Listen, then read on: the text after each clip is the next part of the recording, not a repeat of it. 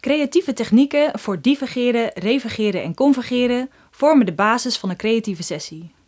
Maar met alleen die technieken heb je nog geen effectieve sessie.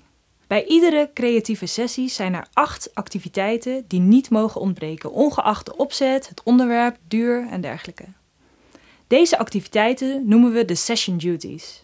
De eerste session duty is een welkom en introductie. Het lijkt een open deur, maar de toon wordt gezet vanaf moment 1. Dus aandacht besteden aan het verwelkomen van de deelnemers en weten waar je op moet letten bij de introductie is niet onbelangrijk.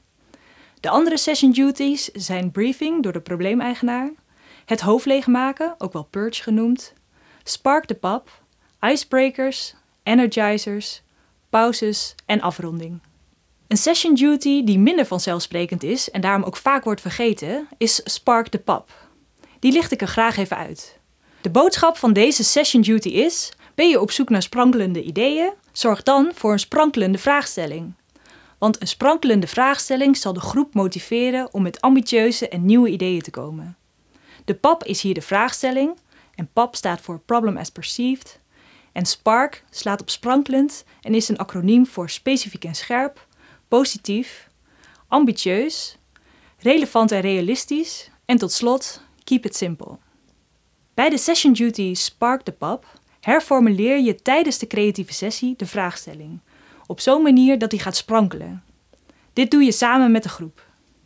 Laten we de eerste letter van Spark als voorbeeld nemen, de S. Zorg dat de vraagstelling specifiek en scherp geformuleerd is. Een vraag als hoe kunnen we onze buurt veiliger en gezelliger maken is niet specifiek genoeg. Want deze bevat eigenlijk twee vragen: veiliger en gezelliger. Rekening houden met twee elementen zal de groep dan ook belemmeren bij het bedenken van veel en nieuwe ideeën. Beter is het dus om deze vraag op te splitsen in hoe kunnen we onze buurt veiliger maken en hoe kunnen we onze buurt gezelliger maken. Het sprankelend maken van de vraagstelling, sparking the pub, is een van de acht session duties in een creatieve sessie die best lastig kan zijn door de onzekere uitkomst.